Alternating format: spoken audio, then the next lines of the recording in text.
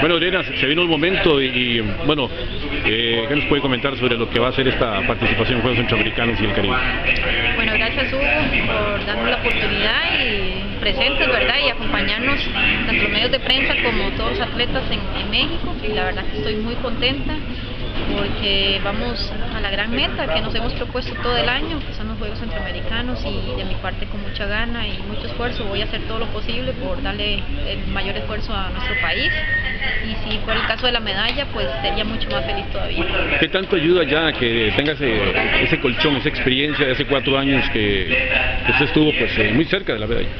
Pues la verdad que han pasado ya muchos años y la experiencia que yo he tomado